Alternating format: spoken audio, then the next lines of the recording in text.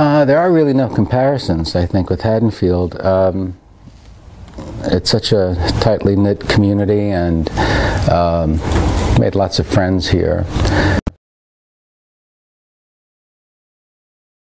The Garden Club, uh, the Haddonfield Garden Club, back in 2002, uh, wanted to uh, put up a, a statue for um, for the um, 150th anniversary uh, of the discovery, and. Um, they uh, held a, sort of a competition with a number of sculptors entering designs, and uh, uh, and they, they chose mine. So it was uh, late 2001, early 2002.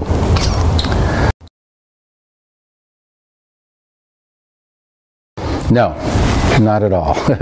uh, I had uh, seen some images uh, actually in the State Museum in Trenton. Uh, those images actually uh, were images that were not correct. Uh, because the head was never found, uh, there was always controversy as to what the dinosaur actually looked like.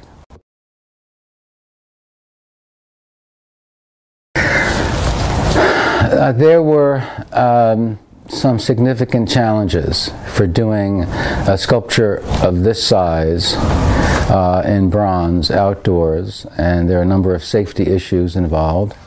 And uh, even though I've, I, I have made uh, sculptures much larger than this.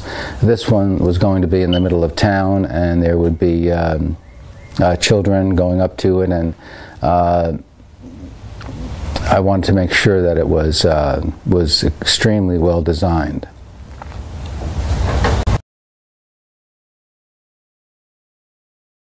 I think for for many years it had been almost forgotten, and. Um, and I think uh, that there were a few uh, a few people who uh, uh did some uh, research and uh, uh, were interested in, in, the, in, the, in the fact that the dinosaur was discovered here. Uh, one project was done as an Eagle Scout report. So um, I think that revived interest, and once that was revived, I, I think it has helped helped the town. I, I think that the both the discovery has become more popularized, and the sculpture itself is, is well known throughout the area and beyond. It's significant because of the um, uh, the process and the atmosphere that occurred right here in, in my barn when when I was making it. Um, there were school children who came to, to look at it and uh, and they were invited to put a dab of clay on, on, on the sculpture. Uh, I received hundreds and hundreds of drawings and paintings thanking me.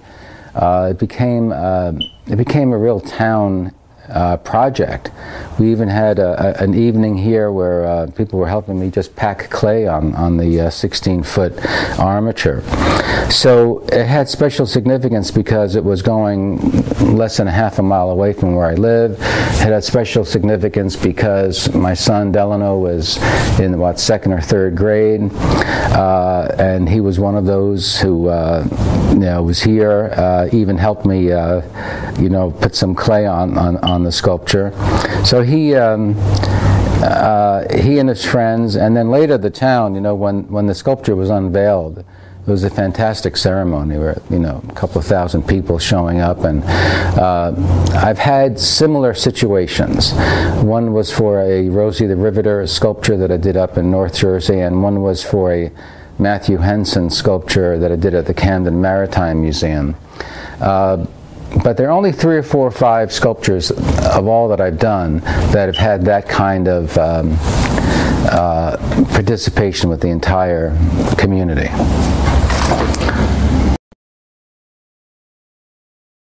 I was working on the project. Uh, a couple of scientists, one from the Academy of Sciences in, in um, Philadelphia, and one from um, the Smithsonian came came to the studio here while I was doing the clay work.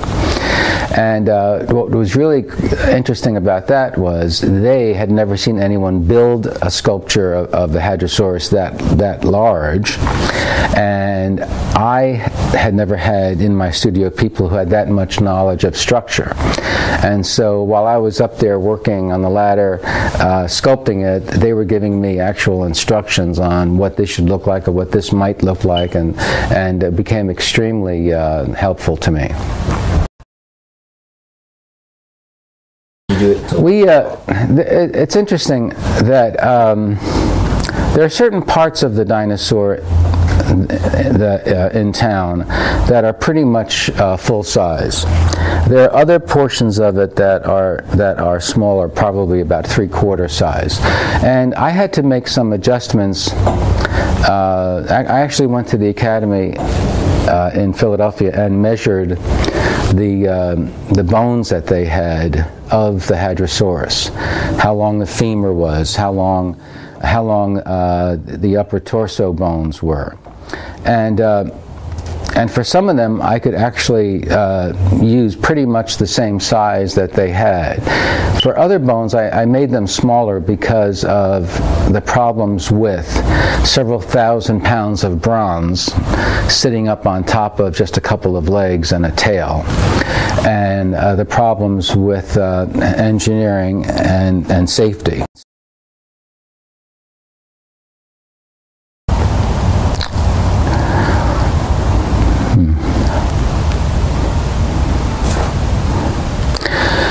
Haddonfield is one of those towns where uh, uh, people who've graduated from uh, high school who've lived there uh, as, as children and young adults many times want to come back and, and, and live later on in life because of, of the sense of community that, that exists here. And um, I, I, think that's that's kind of special. Uh, it's not something that you find everywhere. People usually, you know, want to get out of a place as quickly as possible.